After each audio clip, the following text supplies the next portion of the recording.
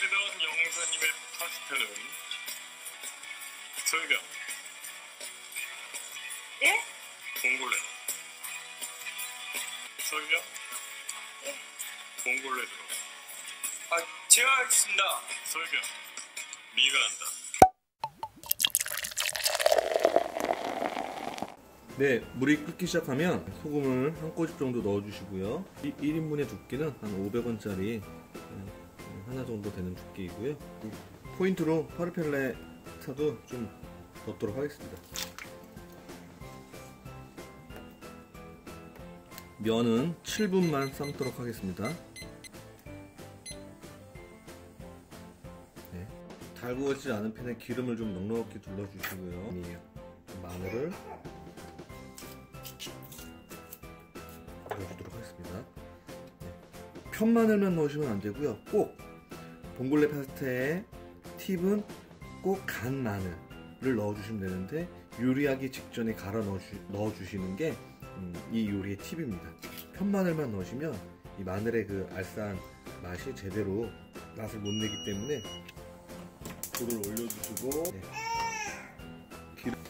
네, 이렇게 마늘이 이제 brown, golden brown이 됐을 때 이때 모시조개를 넣어주시고 모시조개를 넣어주시고 청주를 한 3스푼 정도 넣어주겠습니다.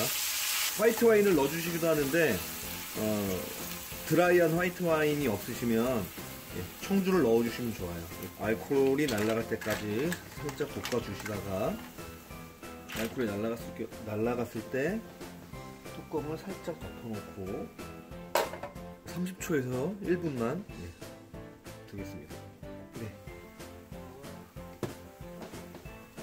맛있게 됐고요. 네. 7분이 지났습니다. 면을 넣어주도록 하겠습니다. 네.